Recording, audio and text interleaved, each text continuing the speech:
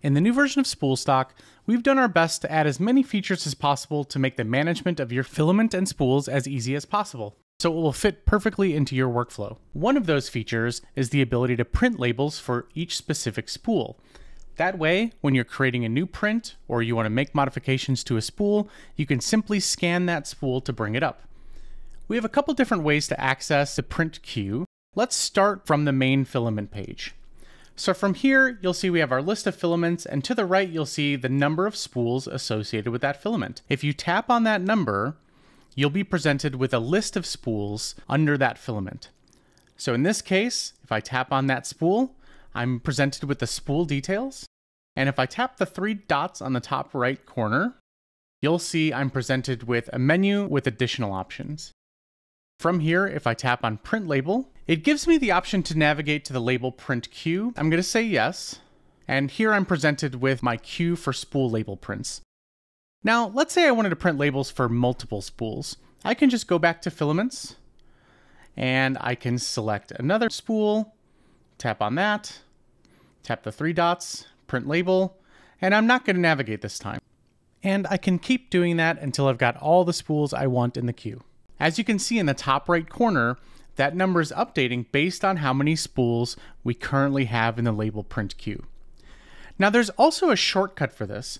So if I pull up this spool, if I just tap and hold on that spool, it will automatically add that spool to my label print queue. So if you need to print a whole batch of labels, you can do that easily just by finding the spool you want, tap and hold, and add it to the queue.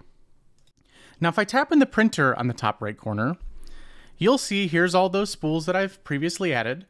And then below, I'm presented with a menu with options for what type of label I'd like to print, what size label I'd like to print.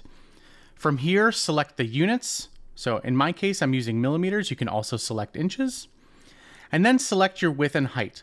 We've provided some common widths and heights, but if these don't meet your needs, just tap the edit button on the left and you can manually enter them. So I'm going to use this width and height which seemed to work really well for my printer, and tap Print Labels.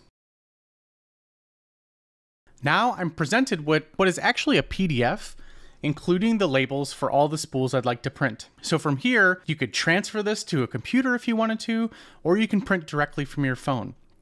My label printer is connected to Wi-Fi, so I can print directly from my phone.